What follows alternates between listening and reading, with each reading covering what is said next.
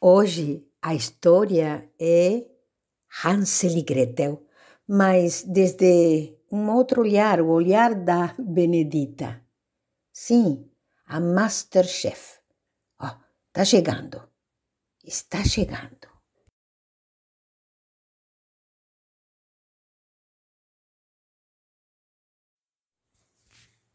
Rosamunda, já cheguei, Rosamunda. É, é? É? Olá, Benedita. Que, que, quem, quem está falando? Ah, cadê você? Aqui, aqui, Benedita. Detrás da câmera. Sim, aqui. Tá escondida, não é? Então, com licença, eu vou contar, tá? É a verdadeira história de Hansel e Gretel. E eu, Benedita. É. Gostaram da minha casinha? Hum. Ah, que, que, que pedreiro? Pedreiro nada.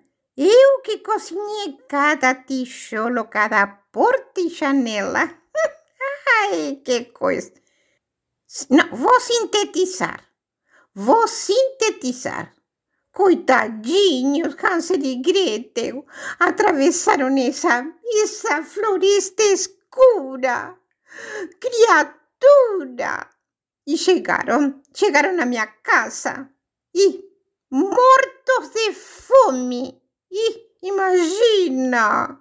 Aí eles comeram tudo que eu tinha preparado: bolo de chocolate, bolo de cenoura e um monte, um monte de balas e doces. Hum. E, coitadinho, criatura, dormiram. Mas, no dia seguinte, escuta aí, Lili, no dia seguinte, vamos mudar toda a história. E eu acompanhei eles de volta para a casa deles. Sim, exatamente. É.